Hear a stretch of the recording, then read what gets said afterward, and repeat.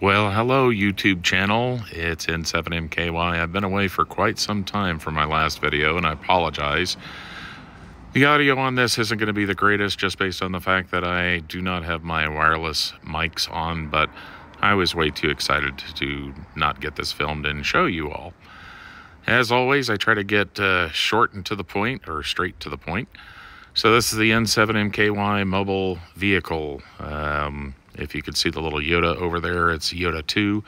It's because back in August when I was really getting into YouTube, um, my wife and I got in an accident. And the unfortunate thing is that uh, rig was totaled. So now I've got uh, the new one all set up. It's a GMC Sierra Denali 1500. And here's the new addition Starlink Mini. And yes, that is a RAM ball mount system with a stake in the pocket hooked up to the pole mount. And I will show you the other parts at another video.